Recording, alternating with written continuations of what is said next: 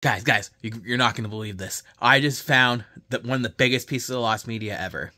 I'm holding in my hand a copy of London After Midnight. I'm dead serious. I went out for a walk.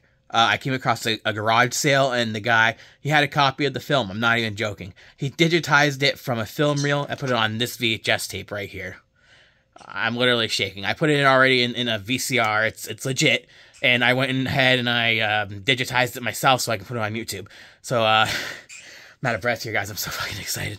Okay, here we go. Here, guys. This is it. Enjoy London After Midnight. It's finally found.